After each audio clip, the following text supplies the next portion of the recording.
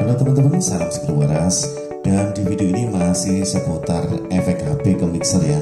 Yang kebetulan di sini mixernya tipe lama yaitu asli Mic Mat 100 tapi di sini fitur yang saya gunakan adalah yang RCA di sini ada tip RCA dan rek RCA ini yang nanti akan kita hubungkan untuk mengambil efek HP ke mixer. Caranya seperti ini. Jack yang kalian butuhkan yaitu RCA ke tiga setengah ya yang kecil ini jadi ada dua yang RCA ke tiga setengah ada dua ya. Yang ke speaker ini yang warna hijau ini ini nanti masuk ke bagian rektif ya. Ini adalah yang ya input ya. Rektif to input karena ini kan speaker.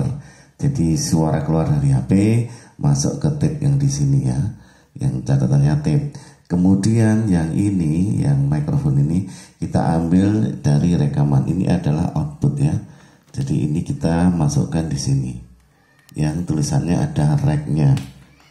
Itu sebagai output dari mixer nanti masuk ke mikrofon di HP ini.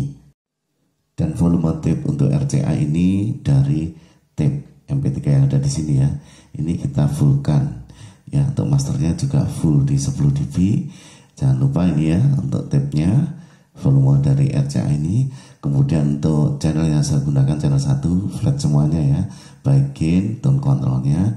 Dan untuk volumenya ini saya fullkan volume channel karena memang tidak terlalu keras ya ini mixer mix 400 ini. Dan jangan lupa supaya suaranya bersih gain untuk channel-channel yang dimatiin termasuk volume channel di channel yang lain.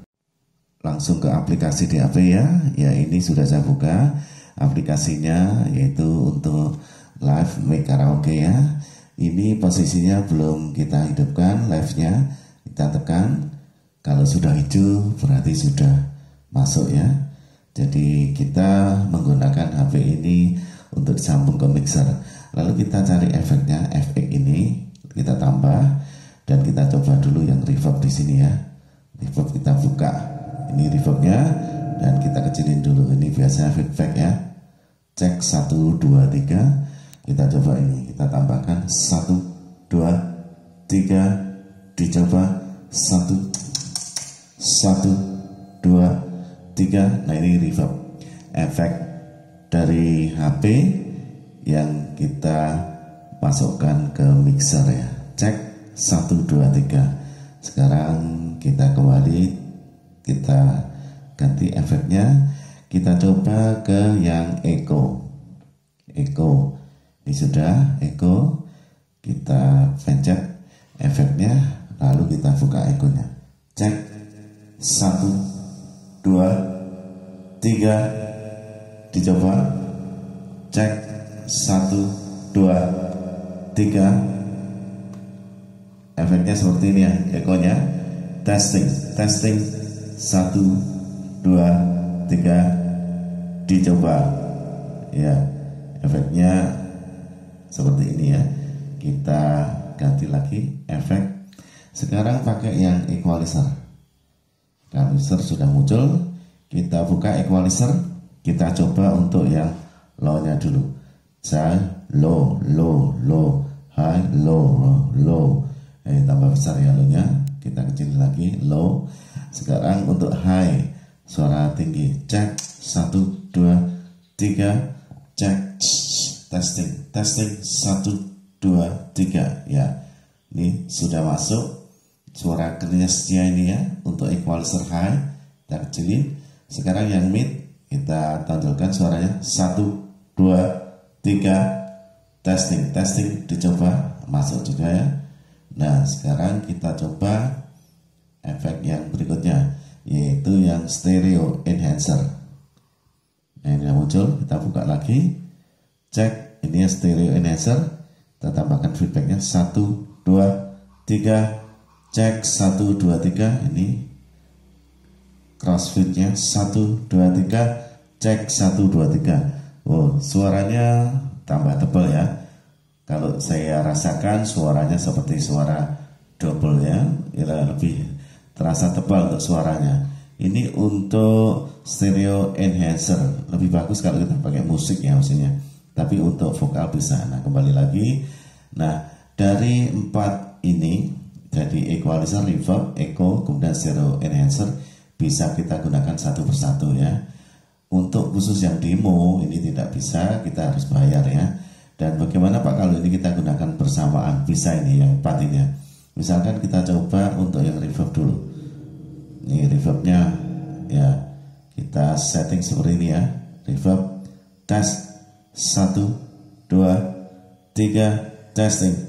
Testing oke segini ya reverbnya. Kemudian kita tambah echo. Echo ini echo. Angkat echonya. Cek satu dua tiga. Satu dua tiga. Ya ini agak feedback bentar ya. Satu dua tiga. Oke mungkin yang reverbnya ini kurang dulu. Satu satu satu. Ya ekonya. Satu dua tiga. Oke langsung kita tambahkan yang equalizer. Equalizer yang hitam ya. Kita kasih low nya satu dua tiga. Oh mantap sekali ya. Ya kita kurangi sedikit biar tidak feedback. Lalu kita tambahkan hanya cek. Satu dua tiga. Satu satu kita keluarin. Satu dua tiga dicoba ya. Masuk juga ya. Uh, kita tambah lagi. Oh sudah semuanya ya ini. Ada ini tambah lagi bisa. Yang stereo enhancer. Stereo enhancer ini stereo. Tambahkan lagi biar suaranya mantap feedbacknya. Satu dua tiga. Testing testing. Dicoba. Cek.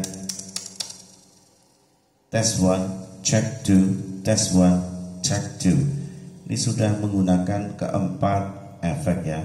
Stereo enhancer equalizer echo dan reverb. Suara yang kalian dengar seperti ini. Ini efek aplikasi DRP yang kita terapkan di mixer tipe lama dengan menggunakan ya fitur RCA ini. Tes 1 2 3 Pak kalau ditambahkan tone control ya bisa saja boleh. Tambahkan hanya cek 1 2 3 dicoba testing testing 1 2 3 uh tambah kerenyes-kerenyes ya. Tambah lotnya juga satu dua tiga. Ya. Nah ini kita mengambil efek dari aplikasi HP untuk mixer yang lama. Yang di sini efeknya itu masih jenis lama yaitu delay dan repeat ya. Delay dan repeat ini hanya dua. Kalau ini tidak bisa digunakan atau ya karena sudah menggunakan efek salah satu itu ya. Jadi kita bisa menggantungkan untuk efek yang repeat delay ini dengan efek digital atau efek aplikasi dari HP. Ya, seperti ini. Jadi kalian tidak usah bingung-bingung. Kalau punya mixer seri lama ada beberapa cara yang beberapa video sudah saya tayangkan tuh ya. Nah, ini kita ambil efek aplikasi HP untuk nanti menggantikan yang efek lama di sini. Satu, dua, tiga, dicoba. Oke teman-teman, sampai di sini dulu untuk info yang sederhana ini. Semoga bisa membantu kalian yang punya tipe lama untuk dengan menggunakan efek dari HP. Semoga bermanfaat dan kita ketemu di video berikutnya. Matur nuwun, tetap salam seger waras.